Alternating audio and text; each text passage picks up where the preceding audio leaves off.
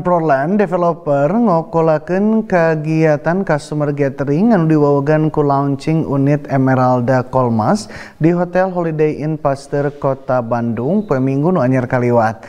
Dina kegiatan anu diluhan ku meh sarebu peserta teh diwawagan ku sajumlahing panyatur dina widang developer properti nasional anu madar ilmu jeung saran patali kana investasi properti ke masyarakat dina mangsa anu bakal datang.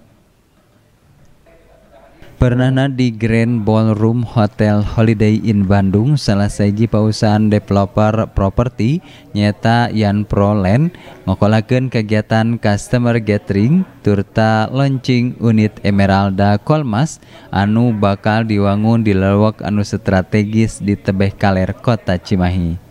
Eta kegiatan anu diluuhan ku mangrebu-rebu peserta teh dieyeban ku sajumlahing panyatur nasional dina widang properti seperti Matius Yusuf jeung Yana Priyatna anu mere motivasi jeung saran anu hade ker peserta patali kana prak-prakan milih investasi properti anu nguntungkeun satu tas sasalan.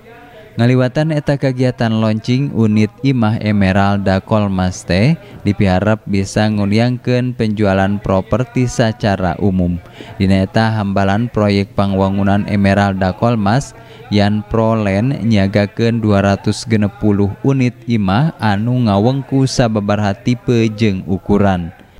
Yan Prolen, developer di Bandung ini kita melakukan kegiatan launching unit Emeralda Kolmas di Kolonel Mas Duri uh, Cimahi yang lokasi strategis di pinggir jalan raya utama.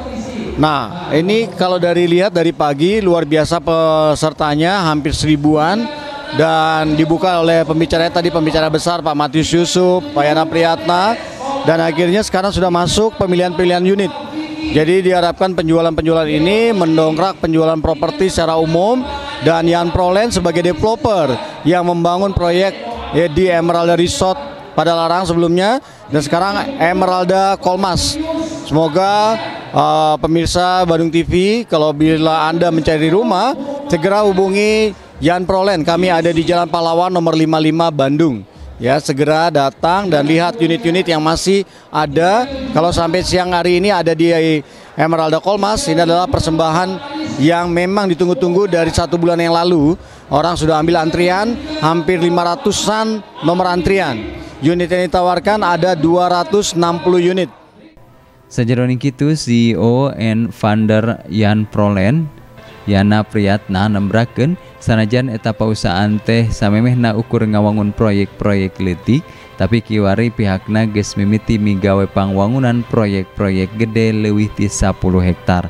Lianti di wewengkon Bandung Raya, Jagana Yan Prolen bakal ngamekarkeun pangwangunan proyekna kalawan brand di Emeralda Resort tepi ka saluareun Pulau Jawa salah sahijina Pulau Sumatera. Dari Prolen, yaitu perusahaan yang bergerak di bidang developer properti.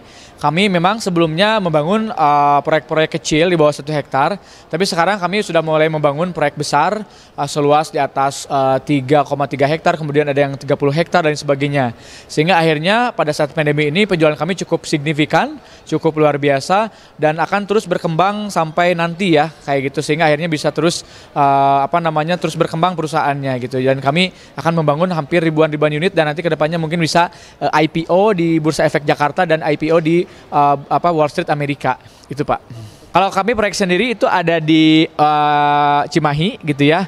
Kemudian ada juga di daerah Padalarang, uh, Bandara Kertajati uh, di Majalengka, kemudian ada di Soreang, kemudian ada di Bandung Timur, ada juga di daerah Cihanjuang, Cimahi, Ciwaruga dan sebagainya.